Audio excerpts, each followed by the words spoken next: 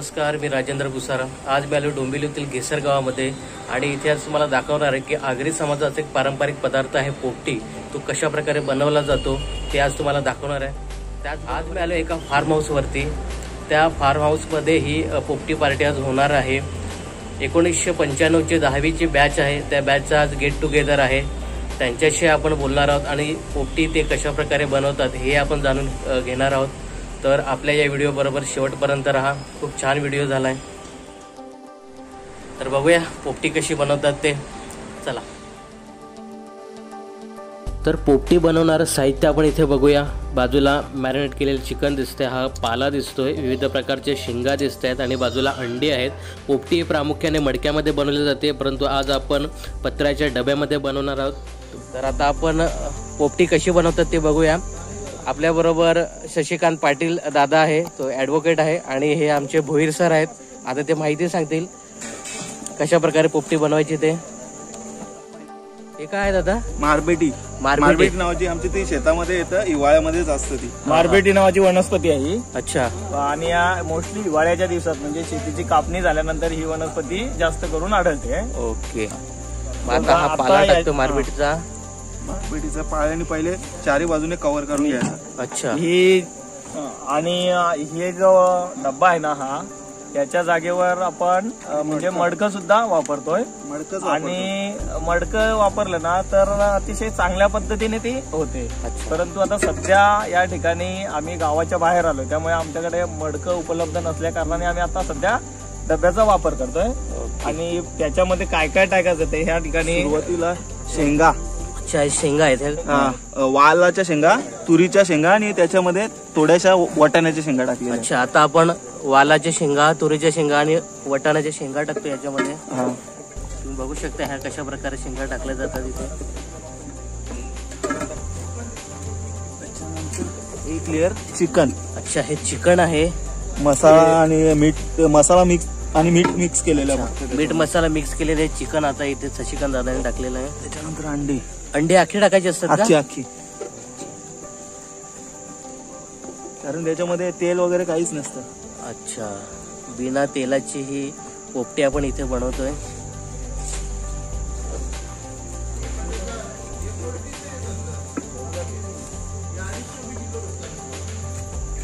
तर एक आता दुसरा थर हा शेंगांचा. एक एक थर लावायला लागतो का? हा थर लावायला लागतं. ते थर लावल्यावर ते फुटत नाही अंडी. अच्छा ओके. आणि शिस्त पण चांगलं. हा हा. आता हा चिकनचा दुसरा थर. दादा चिकनच टाकतात की अजून मटन वगैरे पण टाकतात? मटन टाकतात फिश पण टाकतात प्रॉन्स पण टाकू शकतो.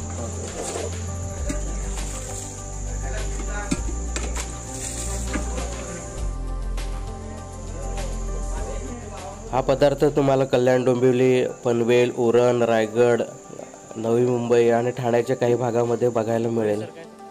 सर काय सांगतील अजून?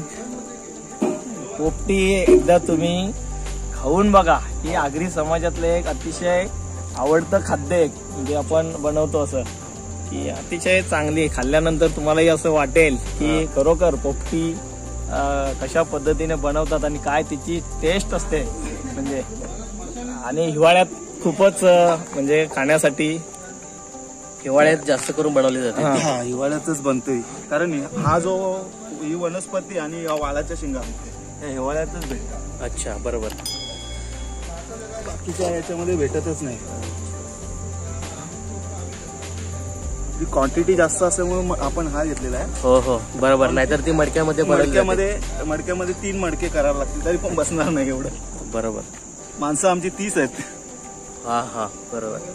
अं, मडक्यामध्ये त्याचा एक अं, स्वाद उतरत असेल मडक्याचा. मडक्यामध्ये मातीचं स्मेल येतं आणि हे बरोबर.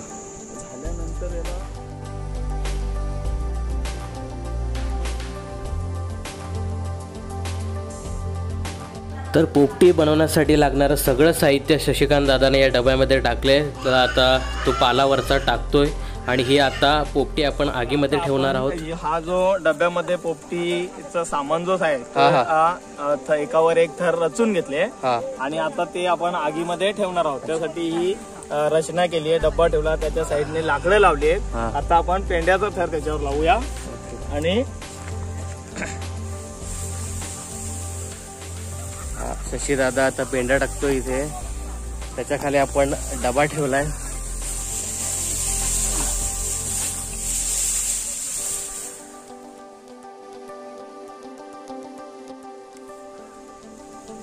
शशी दादा आता किती वेळ आपण ठेवणार हे आग? पस्तीस मिनिट. जवळजवळ पस्तीस मिनिटापर्यंत आपण ही आग ठेवणार आहोत.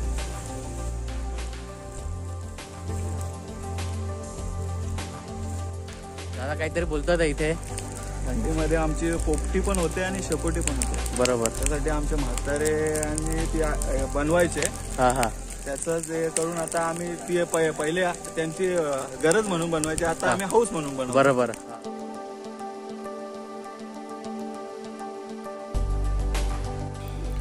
तर इथे आपली पोपटी तयार होते. या आगीमध्ये ही पोपटी ठेवली आणि चारी बाजूला आग आहे. पोपटी आपली तयार होते तोपर्यंत आपण चला या एकोणीसशे पंच्याण्णवच्या बॅचशी गप्पा मारूया. डोंबिवलीमधील सकाराम शेठ शाळेचे सगळे माझे विद्यार्थी आहेत. तर मी या फार्म हाऊसवरती पोपटी बघायला आलेलो होतो आणि हे भोईर सर आहेत. भोईर सर आता या ग्रुपची ओळख करून देतील मला.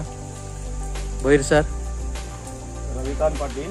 नमस्कार सर. हे आमचे हे सगळे मित्र जे आहेत ना. सर हे. एकोणीसशे पंच्याण्णव ला आम्ही दहावीला होतो. अच्छा. आणि ते आजपर्यंत आम्ही आता दोन हजार वीस म्हणजे पंचवीस वर्षे आम्ही रिलेशन चांगलं आणि मैत्रीचे संबंध अजूनही टिकून ठेवलेले आहेत बरोबर. तर हे माझे मित्र रविकांत पाटील. नमस्कार आपल्या डोंबिवलीमध्ये सेंट टेरेसा स्कूल आहे ना तिथे हे जॉबला आहेत. राजू. नमस्कार राजू म्हात्रे. आणि हे पण चांगल्या हुद्द्यावर त्यांचं पण चांगला मोठा एक दुकान आहे. बिअर शॉपचं दुकान आहे चांगला.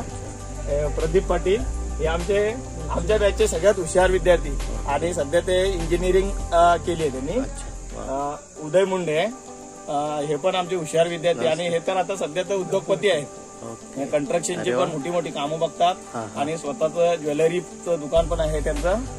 आणि हे कैलाश ठाकरे. उमेश म्हात्रे. हे पण रेल्वे सर्व्हिसला आता सध्या. आणि अमित अमित पाटील. आणि हे पण खूप चांगल्या याच्यावर आहे. यांचा स्वतःचा एक मोठा हॉटेल आहे. निसर्ग हॉटेल. म्हणजे बऱ्याच वर्षापासून ते चालवतात आणि बदलापूर रोडला त्यांचा मोठा हॉटेल आहे. निसर्ग हॉटेल म्हणून. हे राजेश पगडे. हे पण नवी मुंबईमध्ये कामाला आहेत. क्रांती पाटील घरचे हे राजकारणामध्ये खूपच पुढे आहेत. मनसेचे मोठे कार्यकर्ते आहेत. आणि हे किरण कोळी. ही मूर्ती लहान दिसते परंतु सर्व बाबतीत अग्रेसर आहेत. म्हणजे आमच्या या असं एकत्र जेव्हा आम्ही येतो ना त्यावेळेला जेवण खावण जे आहे ना हे सगळं अरेंजमेंट हे करतात. म्हणजे वस्तू आणण्यापासून तर ते बनवण्यापर्यंत. हे जयेंद्र पाटील हे पण मोठे उद्योगपती आहेत. आपले निवजे गावचे जे आपले रवी पाटील वगैरे माजी सरपंच वगैरे आहेत त्यांचे हे धाकटे भाऊ. हे निसर्ग हॉटेलचे मालक आणि तसेच युवा सेनेचे अध्यक्ष आहेत. हा. युवा सेनेचे अध्यक्ष आहेत. ही या समाजाची खरी नवीन एक मेनू उदयास आलेला आहे काही वर्षापूर्वी पोपटी. आणि ती पोपटी आता थोड्याच वेळामध्ये तयार होईल ती तुम्हाला आम्ही दाखवणार आहोत. तर आपली आता पोपटी तयार झालेली आहे. ते दादा दाखवतात आपल्याला कशा प्रकारे पोपटी आहे ती. हा आपण ठेवलेला डब्बा आहे. त्या डब्यामध्ये ही पोपटी आहे.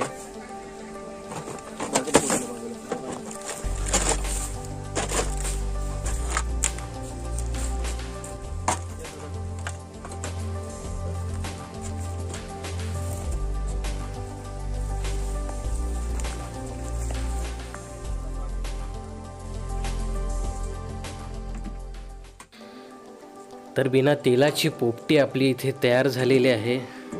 तुम्हाला मी दाखवतो ही पोपटी कशा प्रकारे असते ती. मी ही पहिल्यांदाच ज्या पोपटीची चव घेणार आहे आणि तुम्हालाही सांगणार आहे कशा प्रकारे पोपटी असते ती. दादा इथे आपण टाकलेला पाला काढतोय. वेज पोपटीसुद्धा आपण बनवू शकतो. थंडीमध्ये शरीराला उपचार करण्यासाठी हा पदार्थ उपयुक्त ठरतो.